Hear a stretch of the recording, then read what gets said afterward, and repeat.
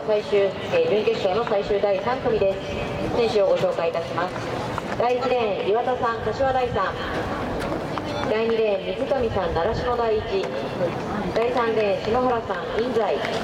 第4レーン佐藤さん朝日第2第5レーン倉野さん南総第6レーン小出さん松ヶ丘。第7レーン橋本さん我孫子。第8レーン長谷川さん根木内以上8名によりまして準決勝最終第3組スタートです女子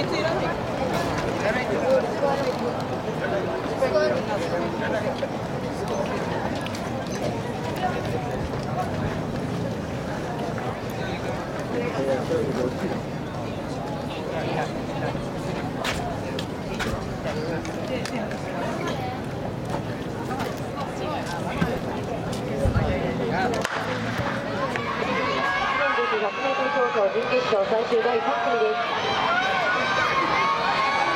3レーンはインドの篠原さん。昨日の予選では12秒63で走っている選手。さあ13秒09の速報。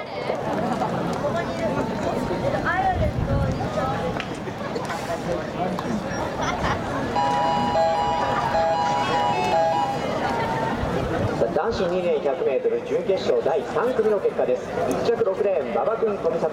12秒142着4レーン高根君栗ヶ沢。11秒12秒153着7レーン松井君上静。12秒194着5レーン小倉君四街道12秒21この次の風は向かい風1.4メートルでした。5着以降は掲示板をご覧ください。さあ以上の結果より、男子2年 100m、え決勝進出そして B, B 決勝進出の選手を申し上げますのでよくお聞きください、えータイム順に申し上げます。例は必ず掲示板でご覧ください、えーそれでは決勝進出者です。